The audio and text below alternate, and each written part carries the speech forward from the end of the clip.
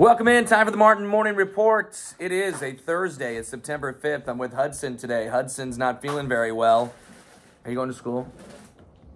Don't know. Don't know. Don't know. Not feeling very well, but he's eating. He's eating away. He's eating the cinnamon toast crunch because he is a cinnamon toast crunch kind of guy, aren't you? All right. Five fast things coming at you on this Thursday from yesterday in KMA land. We start out with number one, the performance of the day.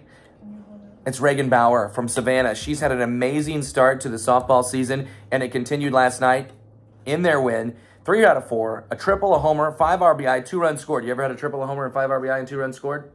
You ever had a triple?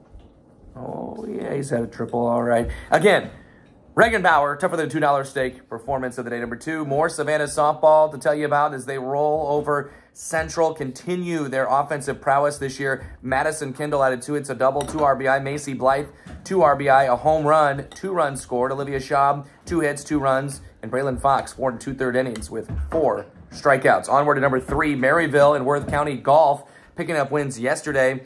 Uh, Elena Pargas of Maryville shot a 40 to help the Spoofhounds to a 204 211 win over Cameron. Also, yesterday, Worth County gets a victory in a triangular. They shot a 204.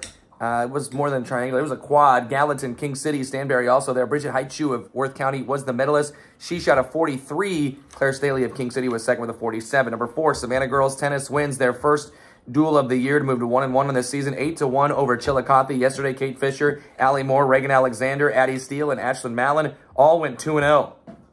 And then number five, it's a busy Thursday today. Very, very busy. You can check out the full schedule at KMAland.com.